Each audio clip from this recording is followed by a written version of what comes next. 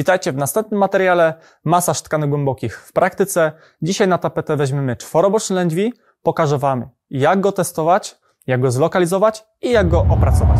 Zapraszam do materiału.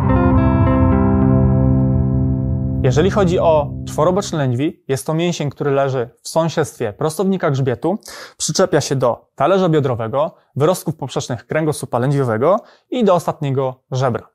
Jeżeli chodzi o funkcję, obustronnie wspomaga wyprost. Jeżeli chodzi o jednostronną część, wykonuje zgięcie do boku i rotację w tą samą stronę. Pokażę Wam, jak go stestować. Zatem przejdźmy do testowania.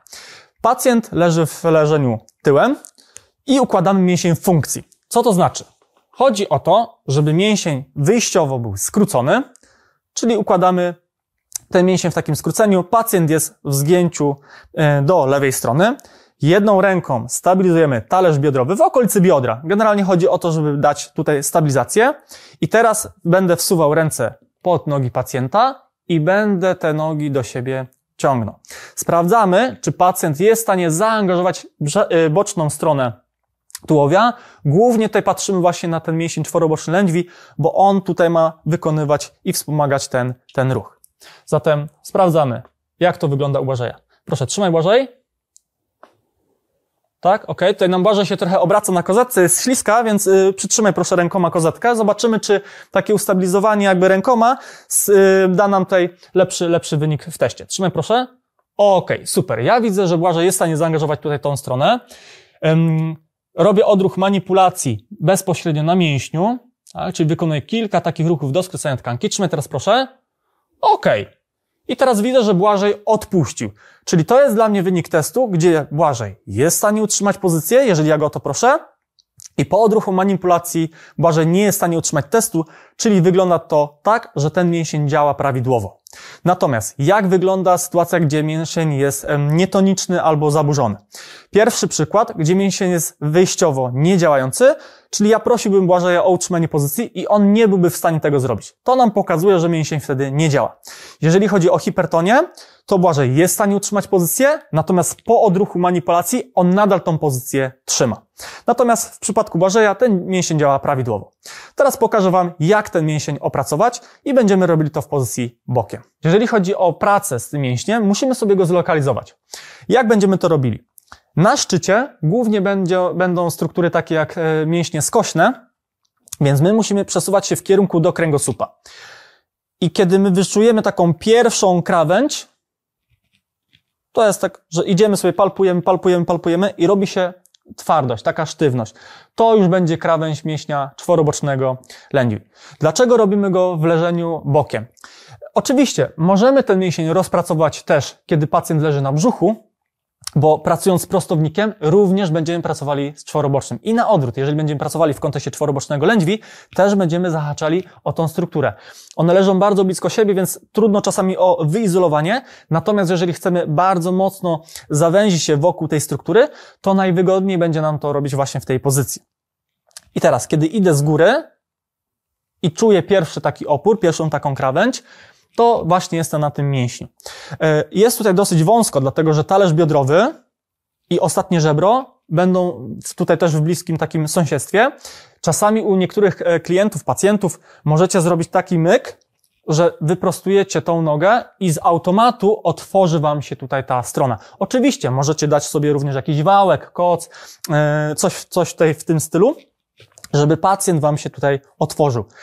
I teraz jak będziemy pracowali? Najpierw pracujemy wzdłuż włókien mięśniowych. Ja głównie te używam swoich opuszków palcy, Dlatego, że jakbym chciał pracować miękką pięścią, to jest tutaj jednak za mało miejsca. Na początku lubię sobie rozpracować tą tkankę właśnie w ten sposób, a później przejść do na przykład chwytu, jakim jest przedramię. Więc rozpracujemy teraz te tkanki. I jak będę czuł, że jestem na ostatnim żebrze, wracam i rozpoczynam ponownie. Ej, ps! Jakbyś chciał dowiedzieć się więcej informacji na temat kursu, znajdziesz je w opisie.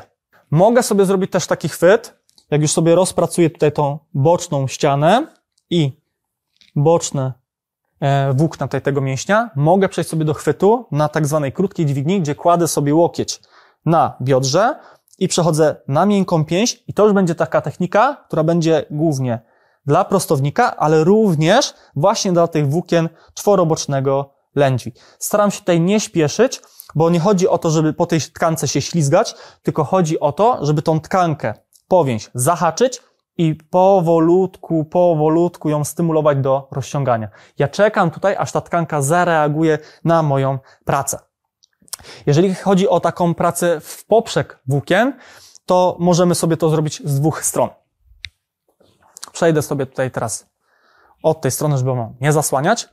I oczywiście kciukami mogę sobie to robić w ten sposób, że idę do kręgosłupa, albo to, co jest dla mnie wygodniejsze osobiście, że idę sobie od kręgosłupa, czyli badam sobie, gdzie są wyrostki kolczyste, wchodzę pomiędzy wyrostki kolczyste, czyli pomiędzy kręgosłup a prostownik i czworoboczne lędźwi, czyli zahaczam sobie prostownik, czworoboczne lędźwi i swoimi palcami próbuję te, te włókna przełamywać do góry.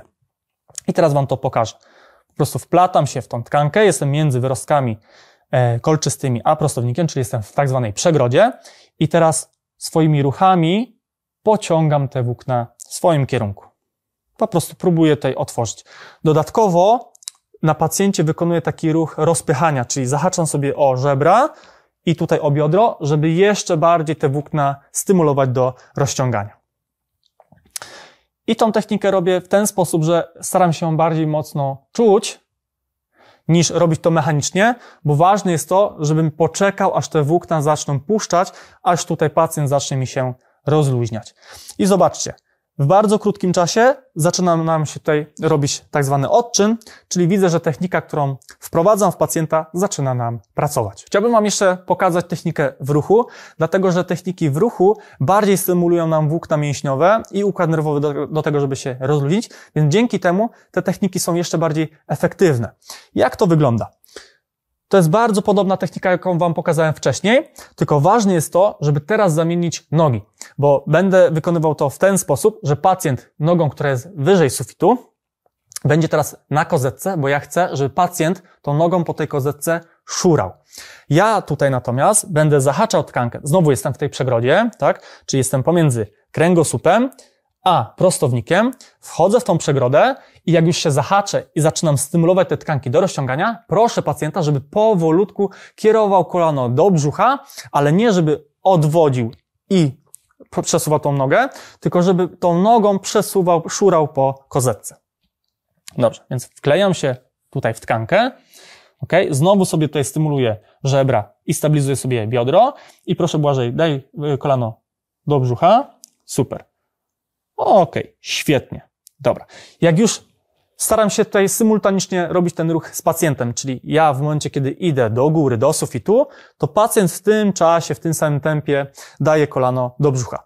Jeżeli pojawi się bolesność, to będzie w jakiś sposób dyskomfortowe dla pacjenta, to z tego rezygnujemy albo prosimy, żeby pacjent tylko wykonał lekki ruch, natomiast my więcej robimy tutaj. I czekamy, czy to nam się wycisza, czy nam się to pogłębia. Najczęściej, jeżeli będzie taka sytuacja, będzie się to wyciszało, więc tym się nie przejmuję. Hmm? I no i ponawiam technikę, tak? Czyli znowu wklejam się w przegrodę, zaczynam stylować tkankę i przesuwaj kolanem do brzucha. Ok, super, świetnie. I dajmy to jeszcze raz. Ok.